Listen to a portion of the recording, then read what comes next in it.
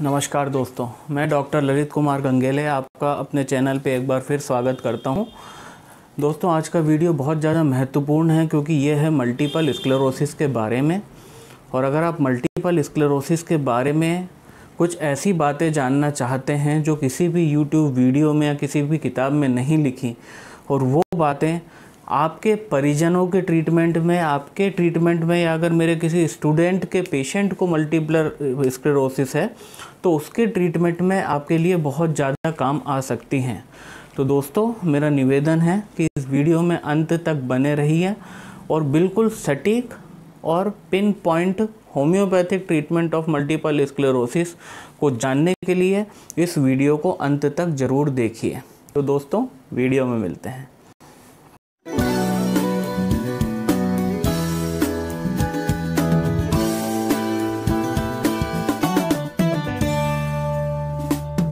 तो आप सब जिस तरह से जानते हैं कि ये वीडियो मल्टीपल स्क्लेरोसिस के बारे में है तो मल्टीपल स्क्लेरोसिस क्या होता है?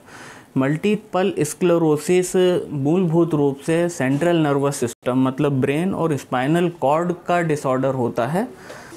अब इसको समझने से पहले थोड़ा सा हम, अगर हम सेंट्रल नर्वस सिस्टम के संरचना के बारे में जान लें तो इसको समझना ज़्यादा आसान होगा स्पेशली मेरे नॉन मेडिकल दर्शकों के लिए। तो मित्रों, हमारा जो सेंट्रल नर्वस सिस्टम है मतलब हमारा दिमाग और हमारा स्पाइनल कॉर्ड वो जो होता है, वो न्यूरॉन से मिलके बना होता है। अभी आप जैसा देख पा रहे हैं कि जो न्यूरॉन होता है, उनके डिज़ाइन के अंदर उसके तीन पार्ट होते हैं। एक न्यूरॉन के डायग्राम अगर आप देख पा रहे हैं तो कि एक जो होता है बॉडी होता है, एक शाफ्ट होता है और एंड में डेंड्राइट्स होते हैं। ये बेसिकली एक यूनिट है, जैसे रेलगाड़ी कई डब्बों से मिलकर बनती है, उसी तरह से मानव नर्वस सिस्टम इन न्यूरॉन्स की लड़ी से मिलके बनता है, इन न्यूरॉन्स की सीरीज़ से मिलके बनता है।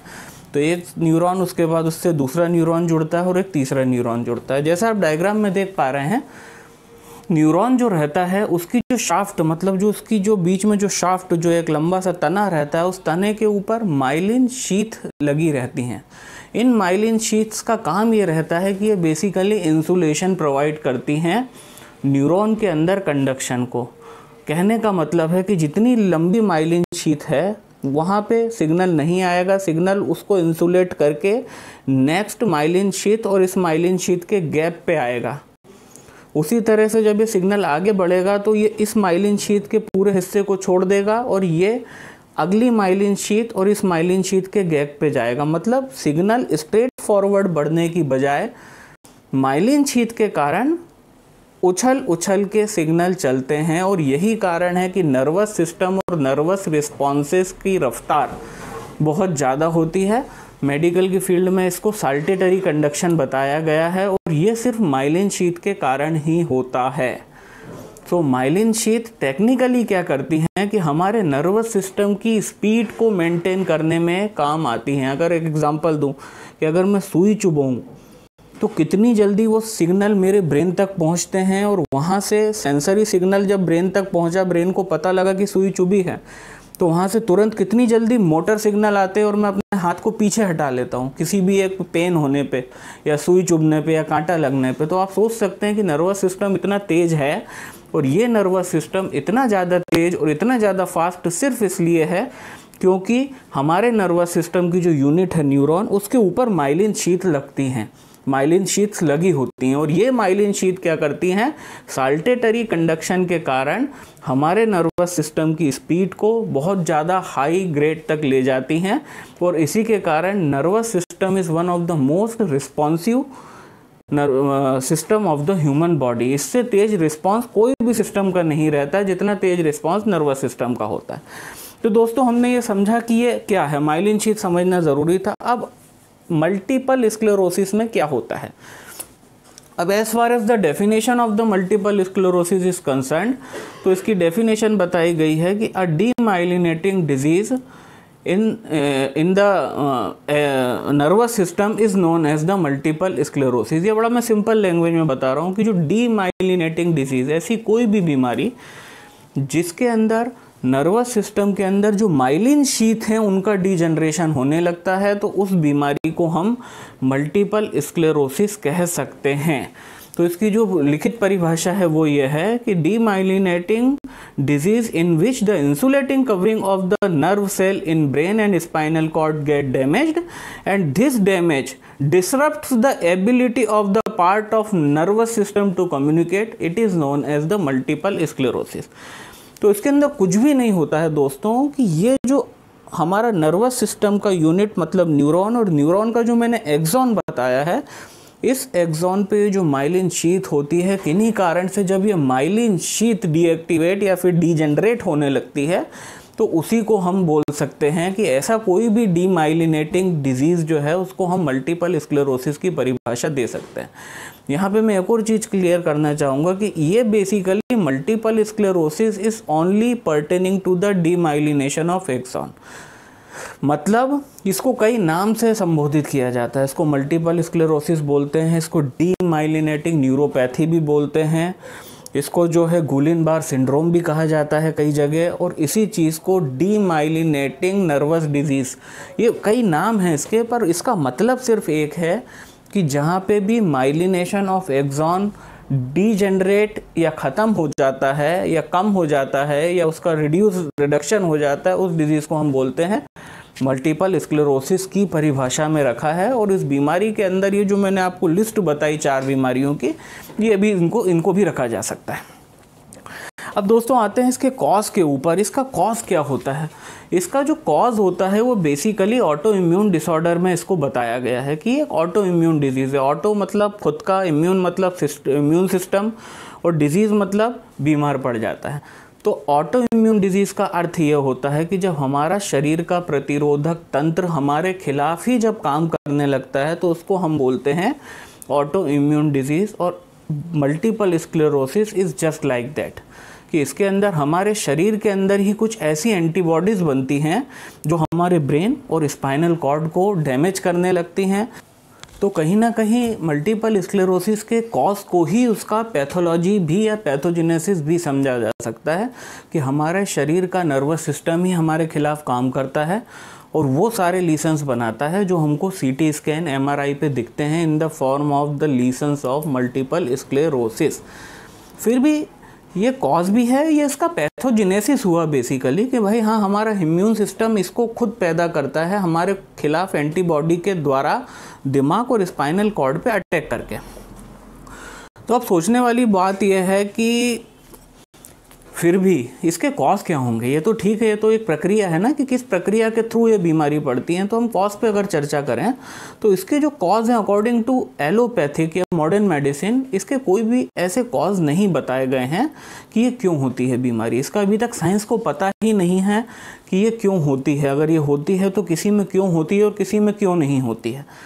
तो as far as the allopathic is concerned तो इसका ऐसा कोई स्पेसिफिक कॉज नहीं है। फिर भी कुछ पॉइंट्स हैं जिसके ऊपर इसको एज अ कॉजेशन के सेक्टर में रखा जा सकता है, जो कि एक है जेनेटिकल इनहेरिटेंस कि ये देखा गया है कि जेनेटिकल इनहेरिटेंस होने के कारण कई लोगों के अंदर जेनेटिकली कुछ पीढ़ियों के अंदर एक दो पीढ़ी छोड़ के मल्टीपल स्क्लेरोसिस के केसेस देखे गए हैं।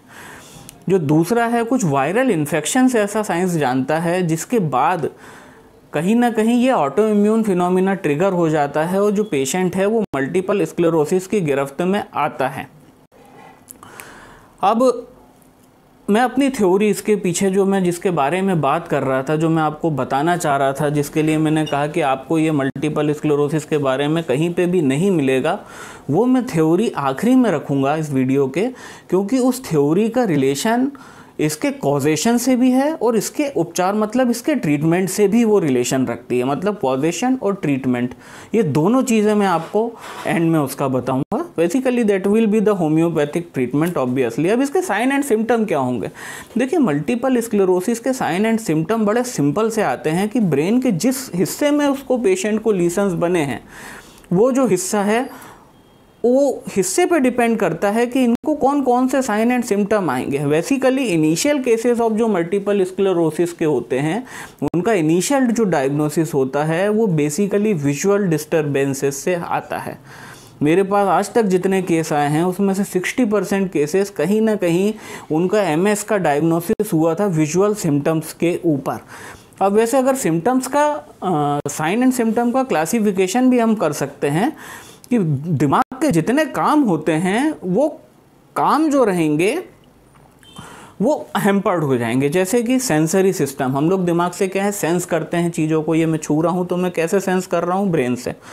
तो ये जो, जब मल्टीपल स्क्लेरोसिस होगा तो सेंसरी अल्ट्रेशंस हो जाएँगे। वो सेंसरी अल्ट्रेशन तो पहला पॉइंट है साइन एंड सिम्टम में sensory alteration sensory sensory alterations में क्या होगा? नंबनेस होगी। मतलब झुंझुनाना होगा, टिंगलिंग होगी, सुई चुभने सा होगा और कई केसेस के अंदर एनेस्थीसिया और हाइपर एस्थीसिया भी देखने में आता है। मतलब एनेस्थीसिया मतलब सुन्न हो जाना और हाइपर एस्थीसिया मतलब बहुत ही ज़्यादा सेंसेशंस होना एक क्षेत्र, एक एरिया में। वो पेन भी हो सकता है, कुछ अंडुलेटिंग सेंसेशन तो सेंसरी अल्ट्रेशंस में क्या क्या अपन ने देखा? सेंसरी अल्ट्रेशन में हमने देखा नंबनेस देखी, हमने टिंगलिंग देखा, हमने एनेस्थीसिया देखा, हमने हाइपर एस्थीसिया देखा। उसी तरह से दिमाग का दूसरा काम है सेंस को सेंसरी सिग्नल को लेने के बाद मोटर रिएक्शन करना। मतलब ये मोटर सिग्नल ये मेरा वॉलेंट्रीली मैं हाथ हिला रहा हूँ तो ये मेरा दिमाग ही तो कर रहा है। तो ये मोटर हेम्पर्डनेस आ जाती है in the form of paresis मतलब पार्शियल पैरालिसिस और in the form of paralysis और कंप्लीट पैरालिसिस मतलब पैरासिस और partial paralysis and complete paralysis तो हमको ये पैरालिटिक सिम्टम देखने में आते हैं। अगर ये सिम्टम नहीं भी हैं तो इनिशियल फ़ेज़ में हमको मसल्स की वीकनेस भी देखने में आ सकती है। और एक चीज़ जो बहुत इंपॉर्टेंटली एक एमएस के पेशेंट में अगर बीमारी थोड़ी एडवांस स्टेज में चली गई है तो वो देखने में आएगी, वो होगा लोकोमोटर अटैक्सिया और इनकोऑर्डिनेशन बैलेंस नहीं बना पाना। चलने में उतना कॉन्फिडेंस नहीं रहना। तो ये सब मोटर्स अल्ट्रेशन है। मोटर अल्ट्रेशन में हमने क्या क्या देखा? हमने पैरासिस देखा, हमने पैरालिसिस देखा, हमने मस्कुलर वीकनेस देखी और हमने इनकोऑर्डिनेशन देखा। मैंने जैसा कि आपको इस साइन एंड सिम्टम के शुरू में बोला था कि जो विजुअल सिम्टम्स होते हैं, वो एक मल्टीपल स्क्लेरोसिस पेशेंट के अंदर बहुत इंपॉर्टेंट होते हैं।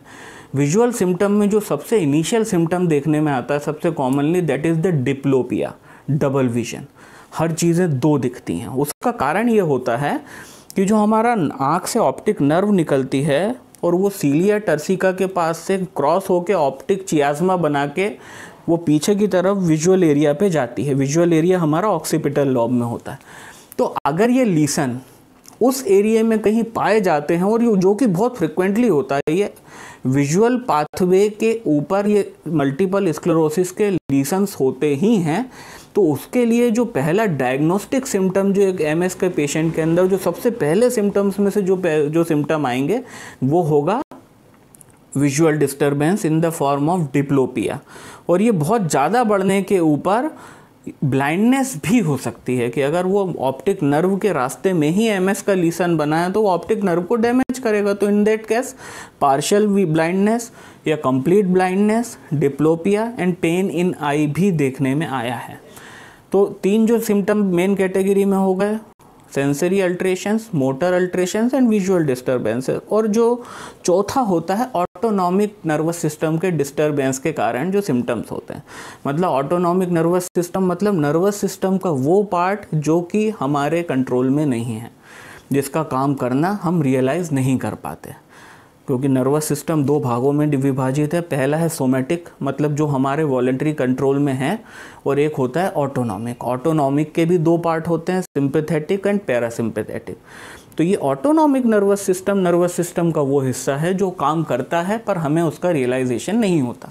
जैसे कि हमारी सांस चलना, हम सांस लेते हैं, हमें पता नहीं चलता। हम रात में सोते हैं, सांस तो बंद नहीं होती, सांस चलती रहती है। That is due to the autonomic nervous system हमारी आंतों की चालें है ना, हमारे अंदर के ऑर्गन्स के सिक्रीशंस ये सब कुछ ऑटोनॉमिक नर्वस सिस्टम करता है और क्योंकि एमएस के पेशेंट के अंदर, क्योंकि ब्रेन अफेक्टेड है तो ये ऑटोनॉमिक नर्वस सिस्टम भी उसका अफेक्टेड मिलता है, जिसके वजह से कुछ सिम्टम्स आते हैं जो ऑटोनॉमिक डिस्टर्बेंस की निशानी है, जैसे कि स्टूल को ना रोक पाना यूरिनेशन को ना रोक पाना, और उसके साथ साथ और कई चीज़ें कॉन्स्टिपेशन है ना? कई बार ये अगर मान लो आपका रेस्पिरेटरी या फिर वेसोमोटर सेंटर के पास अगर आपको एमएस के लीसन है तो वो आपके हार्ट बीट हार्ट रेट और रेस्पिरेशन रेट पे भी अल्ट्रेशंस पड़ते हैं।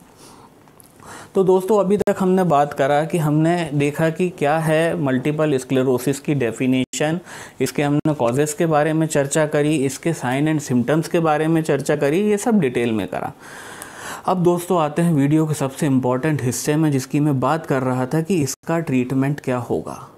इसका ट्रीटमेंट रिपर्ट्री में लिखी गई मेडिसिन पे होता है, जैसा कि हर बीमारी का होता है, पर वहाँ पे मैंने एक अजीब चीज़ नोट करी कि जब मैं मल्टीपल स्क्लेरोसिस आज से पाँच से सात साल पहले, जब मेरे को पहला केस मेरा मिला था, क्योंकि ये काम मैं पंद्रह साल से मैं होम्योपैथिक प्रैक्टिस कर रहा हूँ उस केस के अंदर मैं at the time of searching the repertory on the multiple sclerosis जो कि क्लिनिकल रिब्रिक में लिया था मैं क्योंकि तो क्लिनिकल रिब्रिक ही लेना पड़ेगा। मल्टीपल स्क्लेरोसिस के और तो ऐसा कुछ है नहीं सिम्टम या कोई रिब्रिक आप बना ही नहीं सकते। वहाँ पे मेरे को नेट्रम्यूर मेडिसिन दिखी थी। Then the second one medicine is the sepia तो तब तो हम मतलब बहुत ही मतलब इमेच्योर थे प्रैक्टिस में तो हमने वो मेडिसिन दी। और आप मानेंगे नहीं, बहुत कमाल के रिज़ल्ट आए। मेरे पंद्रह साल के करियर में अभी तक मैं कम से कम पच्चीस से तीस के ऊपर केसेस के ऊपर काम कर चुका हूँ, जिसके अंदर से मैं सिर्फ़ तीन या चार को नहीं बचा पाया, या उनको बैड बॉन्ड होने से नहीं बचा पाया। बट मेरे सत्तर परसेंट से ऊपर केसेस के अंदर मैंने पेशेंट को बेड पे नहीं लगने दिया। मेरे पास आज भी साक्ष्य हैं। मैं आपको उस पेशेंट का इंटरव्यू करके बताऊँगा। पेशेंट की रिपोर्ट्स में आपको बताऊँगा, जो करंट में मेरे पास जो एक साहिबा हैं, एक मैडम है, जो चल रही हैं, जिसके अंदर मैं उनका ट्रीटमेंट कर रहा हूँ आप सब देखेंगे और आप सब आश्चर्यचकित होंगे। तो जैसा कि मैंने बोला था कि इसके कॉज के अंदर एक मैंने अपनी थ्योरी गढ़ी है, वो मैंने आपको बोला था क्योंकि वो कॉज भी है और क्योंकि वो ट्रीटमेंट से भी ताल्लुक़ रखता है, मैं एंड में बताऊँगा। दोस्तों, जो नेट्रम्यूर और सीपिया जो मैंने दो मेडिसिन आपको बताई इन मेडिसिन से मैं कब अवगत हुआ कि जब मैं, जैसा कि मैंने बताया कि मैं सात साल, आठ साल पहले रिपर्टरी के अंदर क्लिनिकल रिब्रिक में मैं मल्टीपल स्क्लेरोसिस को जब मैं तलाश रहा था। अब ये तो मेरे को मेडिसिन मिली रिपर्टरी में, पर उसके साथ कुछ बहुत इंपॉर्टेंट बातें हैं जो मैंने नोट डाउन करी, जो कि केस की हिस्ट्री में थी। जो दो मैं मूलभूत केस का मैं रेफरेंस दूँगा कि जो दो महिलाएँ थी मेरे पास, एक जो महिला थी, उनकी जो उम्र थी लगभग 45-50 साल रही थी और जो एक मेरी फीमेल पेशेंट थी, वो 27 साल की लड़की थी। अब आप इनकी हिस्ट्री को गौर से देखिएगा। क्योंकि अब प्रोफेशनल सीक्रेसी हमको मेंटेन करनी है तो इसके अंदर मैं उन पेशेंट्स का नाम नहीं ले सकता। ये मेरी मजबूरी है। पर फिर भी मैं इतना तो बता ही सकता हूँ। जो सत्ताईस साल की जो लड़की मेरे पास जिसका केस आया था, वो चल नहीं पाती थी। वो एमएस की पेशेंट थी।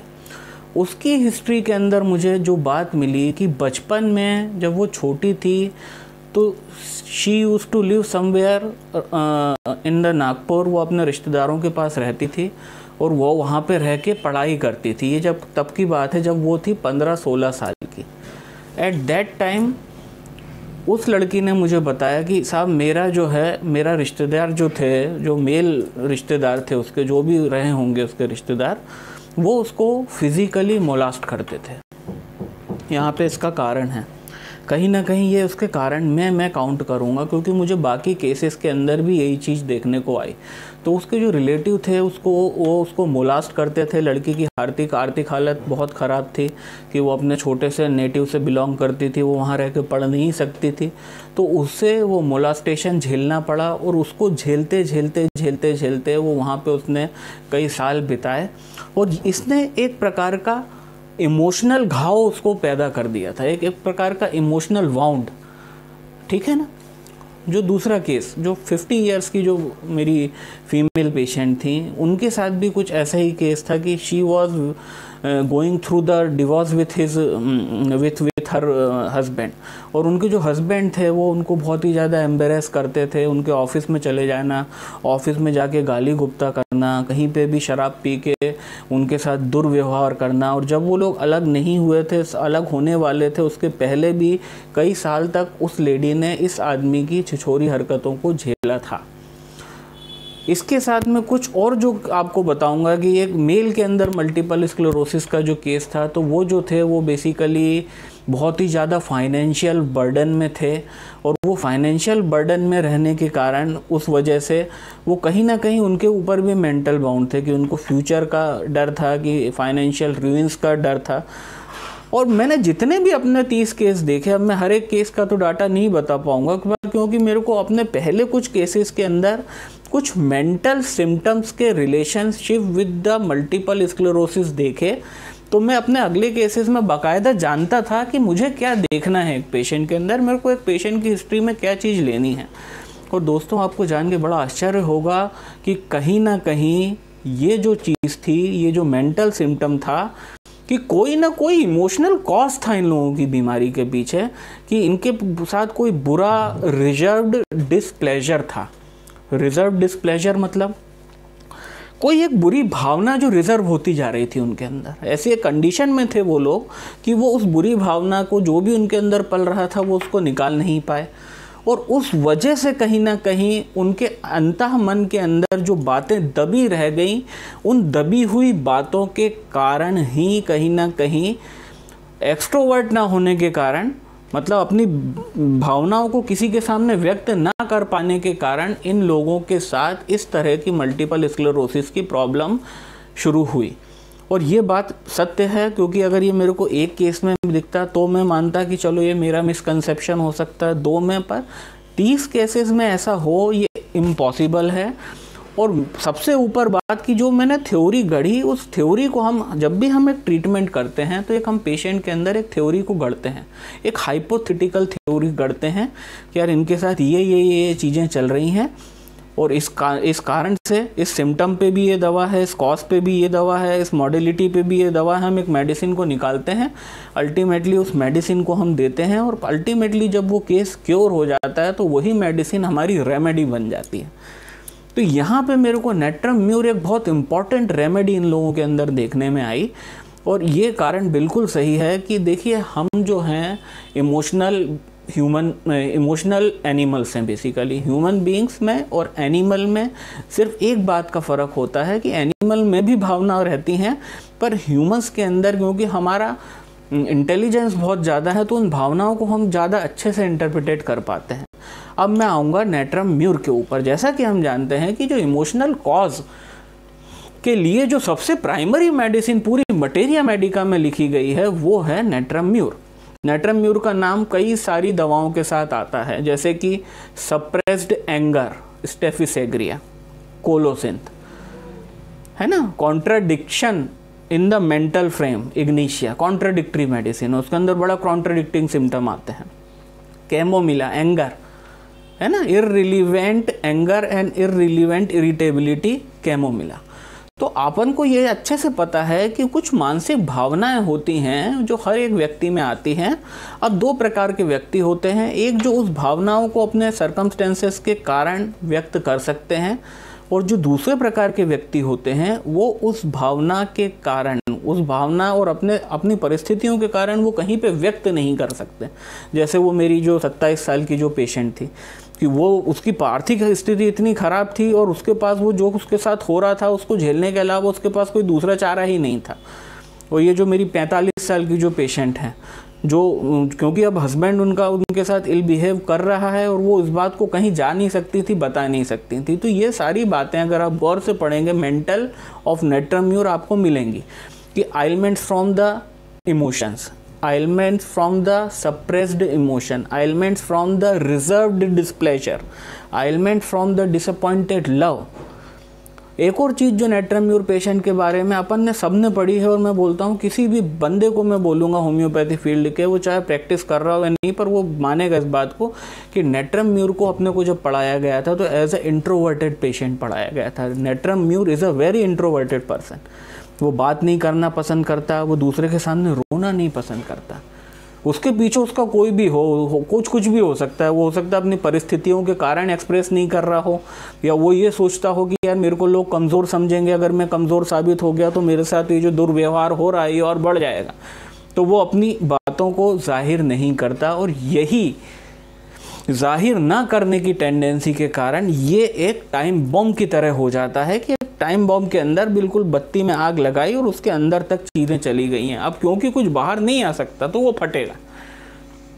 It is just like that C sepia sepia sepia यहाँ पे क्यों आई? ये मतलब मल्टीपल स्क्लेरोसिस में सीपिया आने के दो कारण थे दोनों इनफैक्ट तीन कारण थे।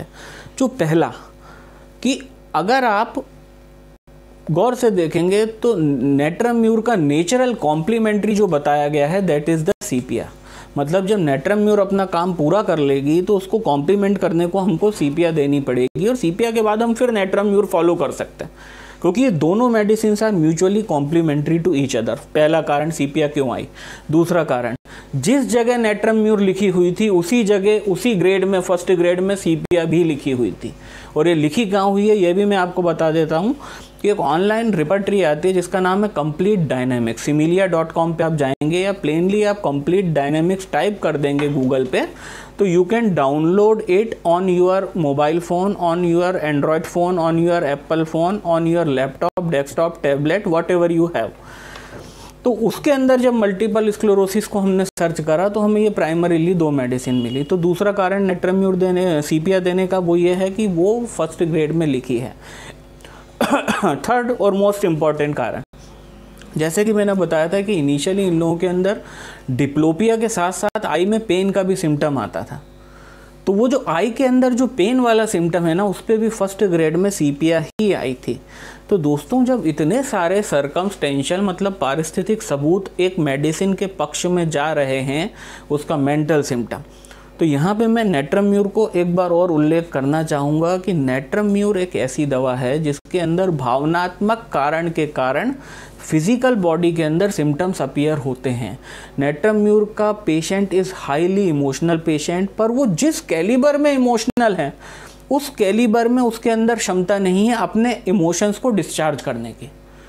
और जहाँ पे डिस्चार्ज की बात आई तो कई क्लासिकल होम्योपैथी के अनुयायी ये चीज़ को समझ पा रहे हैं कि elimination is most important thing in the human body और एलिमिनेशन की थ्योरी होम्योपैथी को के अंदर बहुत इंपॉर्टेंटली बताई गई है कि कभी भी कोई चीज़ का डिस्चार्ज होना भी ज़रूरी है और सप्रेशन ऑफ़ डिस्चार्जेस के कारण अपने आप बहुत सारे फसाद बताए गए हैं कि इरप्शंस के सप्रेशन होने के कारण अस्थमा का हो जाना मेंटल इमोशंस का सप्रेशन के होने के कारण मल्टीपल स्क्लेरोसिस जैसी बीमारी का हो जाना, जो कि नेट्रम्यूर और इस पूरे के पूरे वीडियो में हम चर्चा कर ही रहे हैं।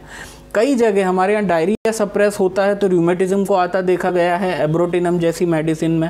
इनको आप अल्टरनेटिंग सिम्टम भी बोल सकते हैं कि बेसिकली एलिमिनेशंस क्या होते हैं कि बॉडी अपने आप को इक्विलिब्रियम में लाने के लिए कुछ चीज़ एलिमिनेट करती है, और उन चीज़ों को जैसे ओटोरिया ओटोरिया मतलब कान से जो डिस्चार्ज है, वो क्लासिकली होम्योपैथी के अंदर बहुत इंपॉर्टेंट है।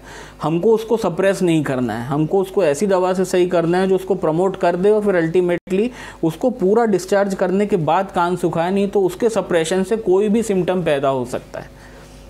बहरेपन से लेके पागलपन तक। अगर आप इन सब बातों को समझना चाहते हैं तो हनीमैन की थ्योरी ऑफ़ क्रॉनिक डिज़ीज़ को एक बार पढ़िए। पूरी किताब पढ़ने की ज़रूरत नहीं है। सिर्फ़ उसका जो इंट्रोडक्टरी पार्ट है कि how the chronic diseases comes in their existence आप उसको पढ़िए, आप समझ जाएँगे बिल्कुल। तो दोस्तों, मैं उम्मीद करता हूँ कि यहाँ पे आपको दवाइयाँ मिल गई हैं। दवाइयों के अंदर मतलब मल्टीपल स्क्लोरोसिस के ट्रीटमेंट के अंदर जो दो primary medicine till now I had found are netramure and sepia especially if the case has its origin on the emotional ground of the body. Emotional ground of mind में अगर case का origination हुआ है, ये जितने तीस case थे, इनके साथ कहीं ना कहीं कोई ना कोई इमोशनल कहानी चल रही थी। कोई, और ये लोग सब अपनी भावनाओं को बिल्कुल भी व्यक्त करने की स्थिति में नहीं थे, क्योंकि उन लोगों की परिस्थितियाँ उस तरह की थी। और इसी वजह से मेरा मानना है इनको बीमारी हुई। हाँ नो डाउट सिर्फ़ ये दो मेडिसिन काफ़ी नहीं हैं।